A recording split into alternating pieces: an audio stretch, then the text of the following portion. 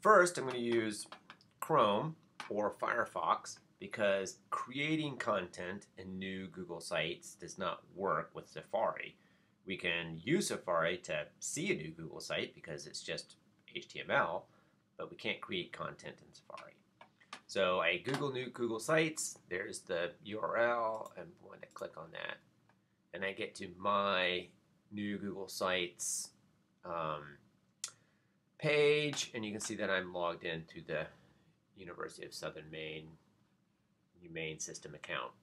All right, we want to create a new site by clicking that little plus icon, and we're going to call this new site uh, USM Applied Biostatistics.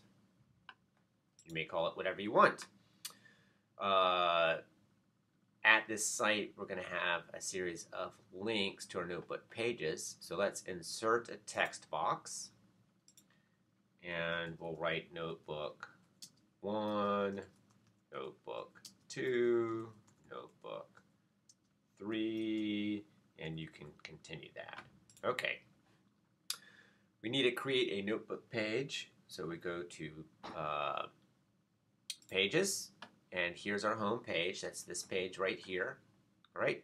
And if I hover over here to the right, I get a pop-up menu, and I want to add a sub page. And this sub page will be Notebook 1. I'm now on the Notebook 1 page. Here's where I want to insert the HTML code. So I click back to insert. We insert HTML code using the embed function and we want to insert code, not a URL. So I need to paste the HTML code here. So let's grab a notebook. I'm going to grab, here's the notebook NB HTML file. If I double click it, it will open in Safari because that is the default application for a .html file.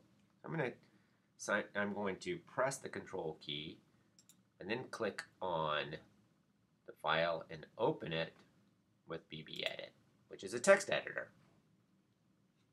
There it is. I'm going to Command A highlights the entire file. Command C copies it. Now I'm going to click over, click into that box, and paste it in. And it takes a few seconds because this is a slow computer that I'm working on here.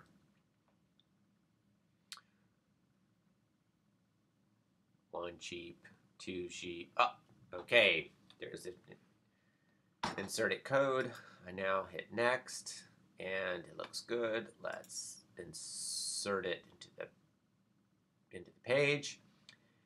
Uh, unfortunately, the whole page doesn't render the, the HTML code, but just within the HTML code is rendered just within this box. But we can resize this box to make it more readable. I'm going to make the box a little bit wider and make the box a little bit longer. Scroll down to help me make the box longer still. I think that's as big as I can make the box. So we want to now Let's go ahead and publish. We need to publish this site. The web address is going to be this URL plus whatever I put here. We're going to call this Walker uh, Bio 413. All right, and publish. Okay, we now, to link, we now need to link to this page from the home page. So let's go back to pages, click on home for home page. We'll double click notebook one, click on the chain icon, which allows us to insert a link. We want to link it to notebook one, hit apply. And now we've got that link. Let's publish. There we go. We can title the whole site. Let's call it uh, USM Applied biostatistics. We can preview the site.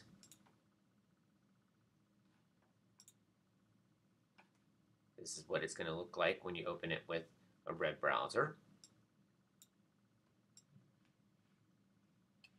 Right, that looks good. I'm going to click that little X to get out of the preview. And we can open this site, this URL, in any web browser. So I'm going to I'm going to copy the link to the site, go to Safari, paste the URL into the URL box. And here in Safari, we see Notebook 1, right? Or I can go to the home page. There's the home page with Notebook 1.